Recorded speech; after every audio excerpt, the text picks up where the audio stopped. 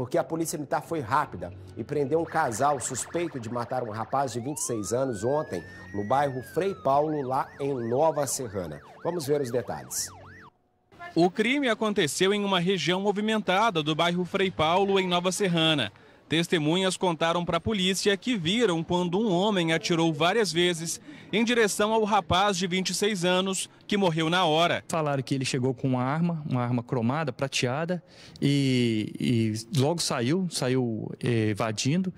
E depois a gente foi buscar outras informações que ele tomou um veículo, um veículo de aplicativo, e que teria evadido sentido a 262, sentido Belo Horizonte. De acordo com a polícia, o atirador é um jovem de 25 anos que foi preso pouco depois. Ele estava escondido em um hotel. Participou desse evento uma segundo informações, namorada dele, até menor de idade. Inclusive, essa também foi apreendida como partícipe do crime.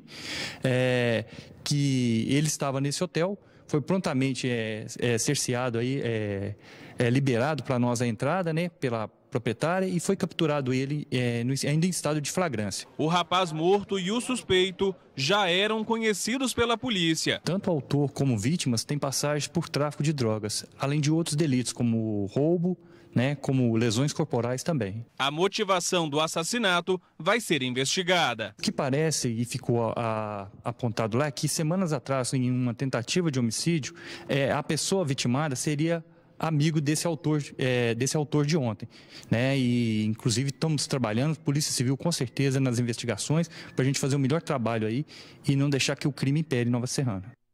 É, porque senão vira essa triste rotina aí, né?